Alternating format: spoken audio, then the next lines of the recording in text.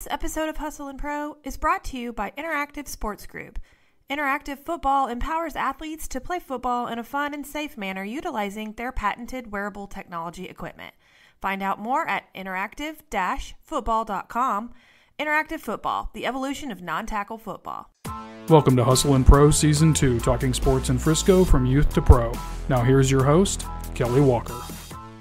On today's episode of Hustle and Pro, we welcome University of North Texas's Vice President and Director of Athletics, Wren Baker. Hello and welcome, Wren. Well, thank you for having me. It's good to uh, good to join you. It's a beautiful day, and uh, hopefully uh, things are all uh, continue to, to look up and improve in the middle of this pandemic. So it's Yes. uh, it's fun to be with you today. Yeah, I'm excited to talk to you.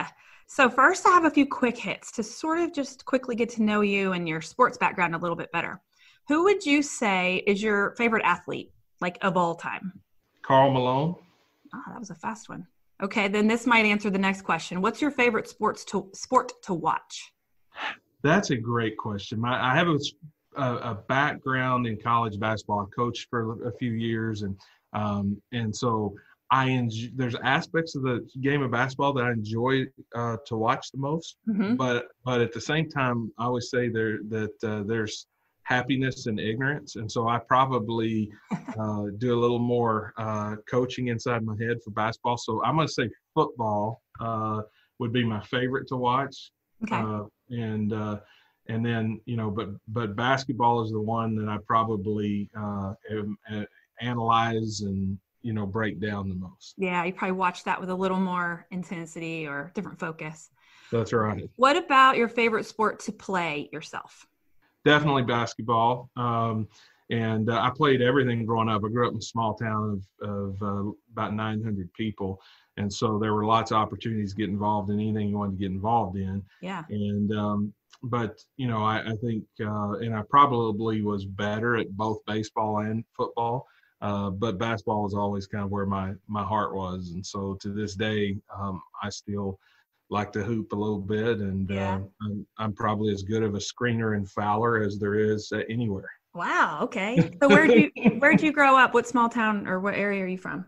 Valliant, Oklahoma. It's in the far southeast uh, corner of the state, and um, a lot of people in the DFW area will um, have been to Broken Bow Lake or at least Yep. heard about it. And Sure. so I grew up about 20, 20, 25 minutes from there, same county. Okay, gotcha. So that was small enough where, like you said, you could play anything, even through high school. Probably, you were able to. Yeah, yeah, definitely. I mean, you could, you know, be in vo- in the uh, music, vocal music. You want to be in a play. What they needed, they needed bodies for everything. So, uh, you know, you, you got to be a part of a lot of a lot of things. That's one of the advantages of growing up in a small town. Yep. So, uh, yeah, we were we were all very active. There wasn't much else to do besides school activities. So. Um, a lot of my friends and I, we did stuff together every single day because of that. Yeah, I love that. Okay, last quick hit. What's your favorite sports movie? Jerry Maguire. Uh, Ah.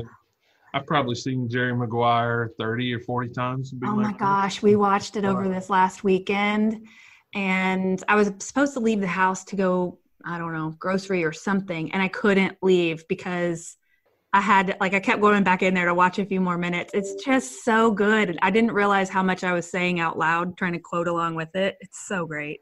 I love Yeah, that it- movie. I, I love that movie. I think it, you know, I don't remember exactly when it came out, but I think I was in high school. Um, Yeah. and, uh, but, uh, it, uh, it's a great movie. Yes, it is. I know. Those the Rod Tidwell scene and everything. Anyway, it's we could go on.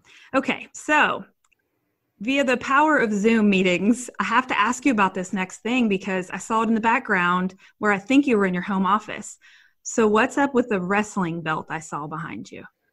Yeah. So, um, I loved pro wrestling as a kid, and it's been really cool being here at North uh, Texas because um, uh, Stone Cold Steve Austin uh, went to school here, played on the football team. Um, the Von Erich family, two of those brothers, uh, went to school here and played sports here. And so um, we actually have a connection um, uh, with uh, pro wrestling. But just growing up in a small town in Oklahoma, um, we only got two two television stations, and and not and those weren't always consistent. And so really um, you you get like a handful of of sports, but it wasn't like it is today where there's college and pro sports on TV all the time. So mm-hmm. the most consistent um, sport like uh, um, you know show was pro wrestling. My brother and I, my brother's two years younger than me. We we fell in love with it every Saturday morning. We would uh, watch it, pull our our mattresses uh, out, and uh, and uh, wrestle each other and mimic the moves. And so I've always had a, I've always been a fan. Then I, I worked at the University of Memphis as the uh, deputy athletic director, and um, one had a chance to to meet uh, Jerry the King Lawler uh, one day. And offered and asked if he'd ever come talk to the football team because uh, Justin Fuente, who's now at Virginia Tech, was the football coach there. He's also in Oklahoma, and he and I were good friends. And and he's he likes pro wrestling, and so uh, so Jerry came out and uh, he gave uh, he gave me uh, that belt, and so uh, it's a prize possession. Uh, and uh, when I, I, have all of our athletes over over the course of a year, um, and to to our house to eat to eat dinner, and yeah. it's usually the first thing they go to when they're when they're looking around is yeah they take pictures with it, and it's always a good talking point. Yeah, it caught my eye for sure had to ask. makes sense. I didn't. I didn't. Re- I remember now some of those connections when you mentioned them. I just, you know, and I also think, um, you know, pro wrestling. Um, there's a reason why it's kind of consistently, you know, held a, a passionate, loyal, captive audience. Um, you know, they build storylines, they do different things, and so um, I think the other just aspect into into into um, um, how I view it is is I kind of try to steal a lot of their ideas just in marketing and promotions. I think uh-huh. they, you know I think they do a great job. And um, when I was in Memphis, the Grizzlies were kind of the hot franchise at the time. They were selling out every night and really uh, raucous crowds. And so I met with their director of marketing um, and asked him like, "What do you guys? You know what what's kind of how do you come up with all these ideas?" Mm-hmm. And um, he uh, he said we kind of we he said you won't believe this, but we say what would the WWE do uh, oh, to promote awesome. this? And so um, you know I also think that you know they've obviously maintained and kept a pretty captive audience for a long time, and for sure. uh, I, think, I think they do that with uh, some pretty creative promotions and storylines and. Um, not all of it's applicable to college athletics, but we definitely have incorporated some of that. Yeah, I mean, they're and they're still doing it. Even they're one of these sports that's managed to figure out how to still put on put a product out there when others right now aren't able to. Um, they're getting creative. I guess they just like you said they keep reinventing themselves and putting storylines out there that they're filling up arenas constantly. No doubt. Yeah. Okay so you were the youngest principal in oklahoma at the time anyway. I don't know if that still holds at 26 years old. So i'm guessing would you describe yourself as as ambitious and a goal setting person? Certainly at that age, I was. Um, you know, I think with experience comes um, not the loss of ambition, but also the understanding that, um, you know, you can grow where you're planted and uh, and so you know but at that age i definitely was wanting to um, you know move and get as many opportunities as i as i could and really what happened there was um, again i go back to you grew up in a small town you know everybody um, and uh, the uh, my uh, high school student council advisor after i'd left and was in college and and um, working on a master's and all that stuff i'd always maintained a relationship with her but she ended up becoming the principal and then the superintendent. And uh, when she became superintendent it opened up uh, her job, which was a principal's job, and she also had a vacant athletic director position.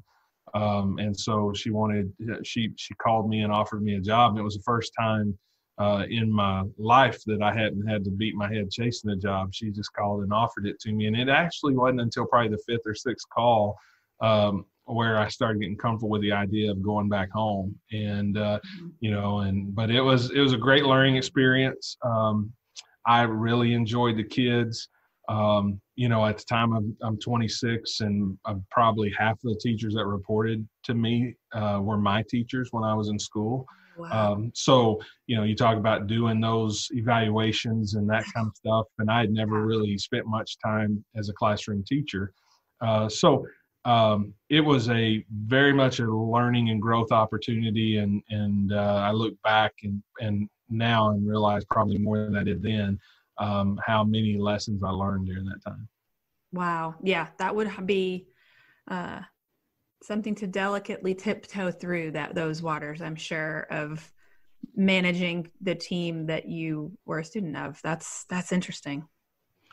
It, it was it was uh, it was very very enlightening and fun. And and the reality is is when I made that decision, um, I left Oklahoma State, where I was a member of the basketball staff there for uh, Eddie Sutton, who's a legendary coach.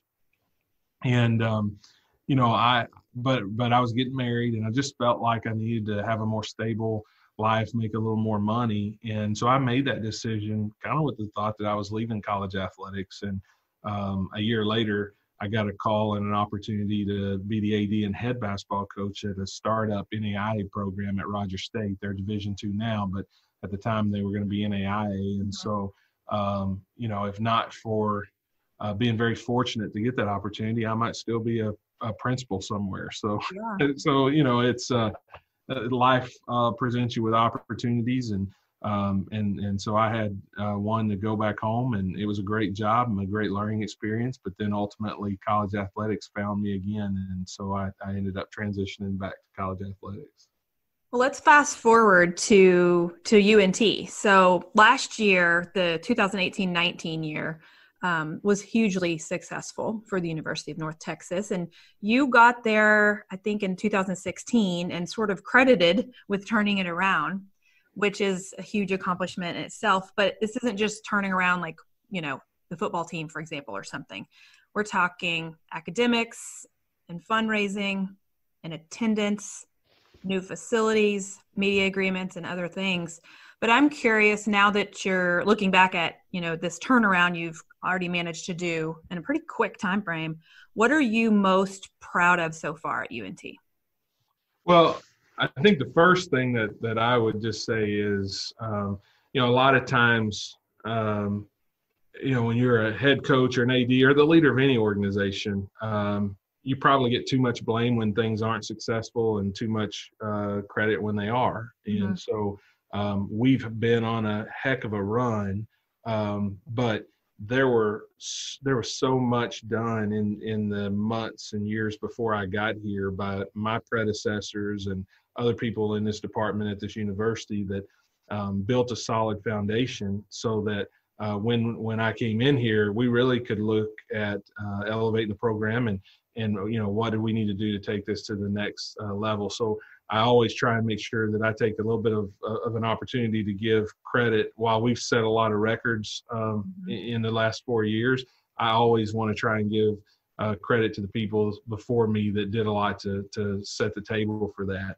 Okay. Um, very and, good so knowing that you know, it, knowing that it didn't just happen because you you showed up and it happened overnight then um, you know maybe what's I guess what also are you most proud of, but what I don't know what was the most difficult yeah. piece to put into play?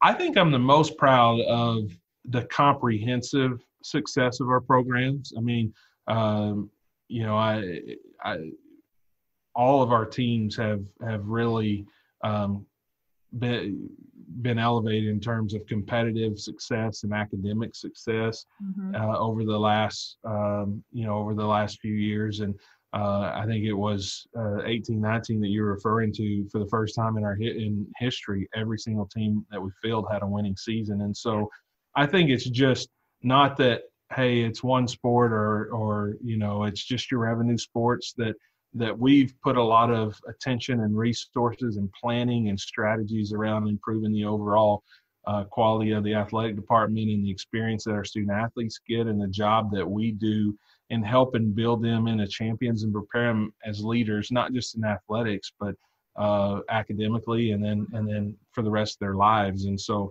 I'm really proud of our coaches and our staff and our student athletes that um, that you know we have elevated the program comprehensively and not not just one or two sports uh, that you know for one or two years. Yeah because some schools are you know the football school or the baseball school. So you mentioned comprehensive. I mean so i said new facilities and media agreements and, and attendance. None of those happen can happen independently really. You're not going to get a good media deal going without people showing up to your games and then without winning and then without new facilities and recruiting and all these different pieces right? So it's all i am guessing it all has to work together yeah um, i've been doing budget planning the last few days uh, and it's the first time in my time here that we're having to put together scenarios where some revenue streams may be down uh, due to this pandemic but as you mentioned, once you kind of have momentum, it's just amazing how much um, momentum creates momentum and how powerful it is, and but at the same time how fragile it can be.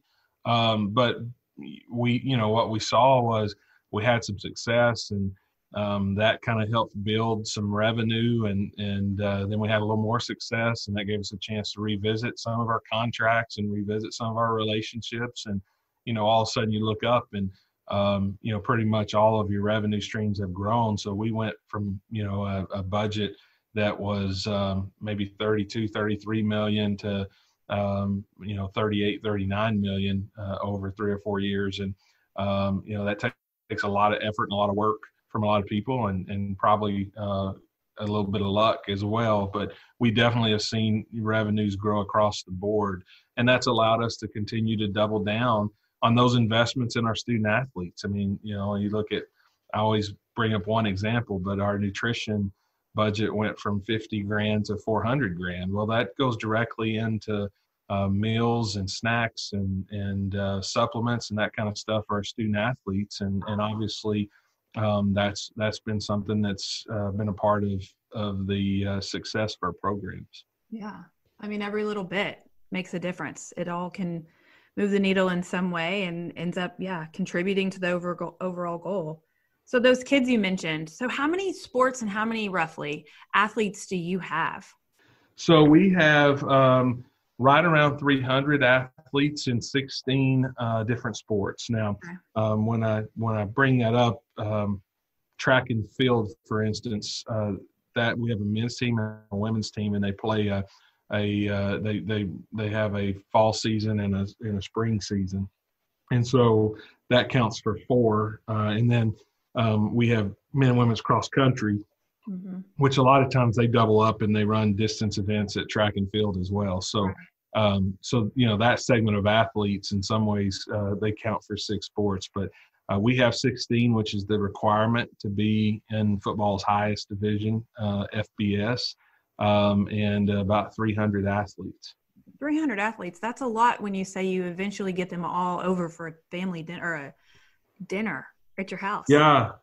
My kids love it. My wife uh, loves uh, the interaction with the with the players, but uh, definitely it puts a lot of strain uh, on her when we start kicking those off in the fall. But I try and cater the meals, and yeah. um, you know, and and uh, we have a house that's kind of built for for entertaining. It's a lot of the space is in the central in the central area kitchen dining room uh, living room it's all open and uh, then that opens onto a patio so we're able to entertain 35 40 pretty easily uh, we can get up to 50 so uh, we knock those out uh, uh, most of them in the fall, and then what we do is in the spring we host a big donor event, and that's when we bring football and we bring in big tents to do that. So, cool. so, uh, but you know, I think when you're um, the head of a department like this, and and uh, you're reliant on the success of others to to uh, to kind of help your priorities and initiatives be advanced and, yeah. and your goals be reached. Um, you know, you want to share back with them, and um, you know, I don't uh, I'm the one thing I miss most about coaching is not the games or anything like that. I just miss the day to day personal interactions with the players. Um, and so it just is a chance for um, for us to do that as a family, and also for my kids uh, who are young, um, to, for them to see like, hey, when Dad's not at our event or our program, or he's not here to put us to bed, it's because um, uh, you know he's he's got to be there for these for all of these uh, young people and so that kind of helps them i think yeah, you know okay. understand too the the magnitude of the job and um, and they think those kids they think our student athletes are there to play with them. I mean they immediately grab them by the hand and start leading them off to trampoline or swing set or, that's awesome. Yeah so it's it's a fun experience for my family. That is cool.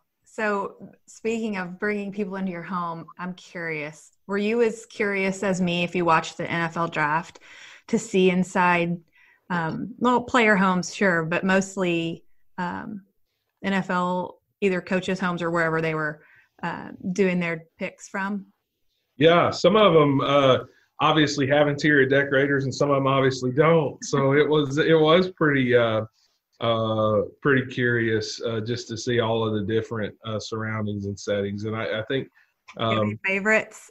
There's been a lot of talk. Coach Bro got a lot of talk, and Jerry he did. Yeah, obviously. Uh, you know what? Um, I love the look of his home, and Arizona is such a great place. Heather and I, um, we usually go to Phoenix every year, and then we went to Sedona a couple of uh, summers ago, and love Sedona. Just yeah. an absolute blast there. So I'm a big fan of Arizona. Uh, but I will say this: um, uh, my wife, we recently bought some new furniture, and she she kind of wanted to go with that modern uh, look that was um, in Kliff's home there, and mm-hmm. I'm all about comfort. And so yeah. we have a lot of discussions around that because the chairs that she thinks look good, I think are are very inadequate in terms of my comfort. Right. So I love the look of his place, but I'm not sure that I would that he looked as comfortable as I would like to look. yeah, there is there's a commitment level there. You got to commit to that look and just embrace it all the way. That's right. And he obviously uh, doesn't have uh, you know the two dogs and two two messy kids like I do because his stuff was all white and looked new. So right, yes, there's a chapter in life when you can do that. So so talking about those kiddos, so you have two daughters, and I'm curious as people who work in um, you know a higher level sports and athletics i'm curious how you parent if your kids are athletes so are they playing sports your kids they do um, you know they're eight and five so it hasn't got to the real competitive uh, uh, place yet um, and um, my five year old is kind of a competitor, so she tends she's tended to to get in there and mix it up a little more mm-hmm. than my eight year old who really just loves the social aspect of it, and you know, but she's not trying to get in there and fight for the soccer ball or anything. Um, I'm very laid back as a as a parent. Um, I I don't uh, I think just my experience of having uh, spent time in the public schools and then having been in college athletics um, I think sometimes as a parent, the worst thing we can do is not just let our kids grow and mature and learn through experiences on their own. Um, we try and interject ourselves in in every situation and um, direct them and coach them and and solve the problem for them. I, I know uh, there's a uh, psychologist that I read a lot, and he says, you know, we do too much preparing the path for the child, not the child for the path. And yeah. so uh, I really just kind of back off and stay away from it. And I tell them all the time, you know, if you don't want to play, um, you don't have to play. Now, if you start a season, you have to finish it. Right. But if you don't want to play soccer this year, you know, don't play. If you don't yep. want to play basketball this year, don't play. Um, now, I, I, let them know if if you don't play a, a, a season or a year, everybody else that does is gaining an advantage on you. And right. You know, it's probably it might be harder to get back. That's right. Where you were. Uh, So I try to educate them on that. Um, and we've had a couple of times where, you know, they um, they had to miss something that they wanted to do because they had a game, and that's the only thing that I'm very strict about with them is you have a team that's dependent on you and you will be at practice and you will be at games and it doesn't mm-hmm. matter if there's a birthday party that conflicts you're going to right. you know you have a responsibility to the team and the coach. Uh, you know. Yeah, and and a coach. But other than that, uh, I don't ever say anything. I never said one word to the coach. I never yelled at my kid, "Hey, go get the ball. You need to do this." You know, I don't. Uh, I feel like there's probably a time and place uh, for that, maybe later in life. Uh, but right now, um, they have a coach, and that coach uh, knows more about coaching that team than I do. He's seen them practice and play more, and so I don't get I don't get involved in it too much.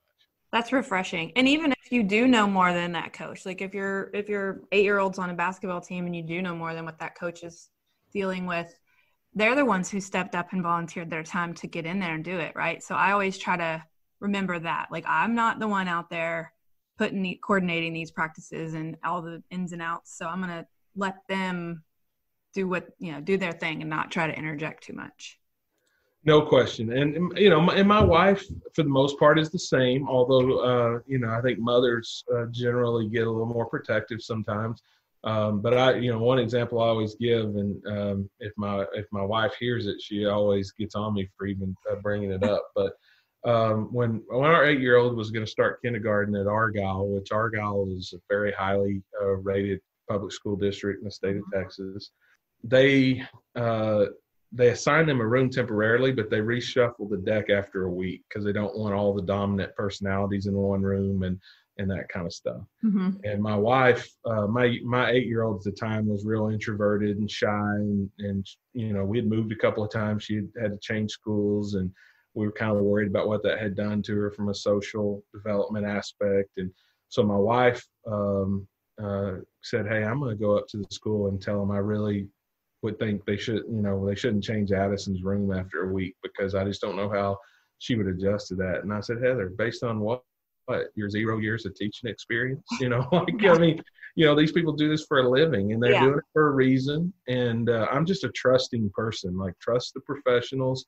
Yeah. Um, and, um, so Heather didn't like my initial response to that, but after we talked it through and I went through my logic, she kind of agreed that um, you know we should just uh, hold hold off on interjecting ourselves in that. Yeah, so it's hard that's our approach. It is hard to let it go, but like you said, you don't want to pave the path so much for her that it's too easy for her to adjust. Like you, you know, maybe her adjusting it herself is a good life lesson to learn how to adapt to different personalities or change in a classroom or whatever. It's hard though as a parent to know to know when to, you know, keep pushing and when not to. Yeah, you know, you and I are of the age where we've started to lose uh, loved ones. I, I still have both my parents, but I've lost all of my uh, grandparents except one. Um, and uh, you know, it's like when you when you lose those people, uh, it's such a kind of a feeling of, I mean, I really being scared because they've always been there for you. And mm-hmm. you know, if you uh, if you, you know, my grandmother who passed a couple of years ago, like if I was going through a bad time in life or, or in, you know, at work or whatever, I would go home. Uh, she had 80 acres and I'd fish and I'd get on the tractor and, you know, like, because nothing there ever changed. It was this safety and security. Um, but the reality is, um, because she didn't always solve all my problems for me, my parents didn't always solve my problems for you, you're equipped to deal with it. So I think sometimes there's, it's really hard as a parent to balance the desire to want to be there for your kids with um, the natural uh, just battling through adversity that right. that we need as we grow and develop. Struggles, the pain, like you know, letting them feel a little bit of that discomfort or pain to figure something out themselves. Yeah. No doubt.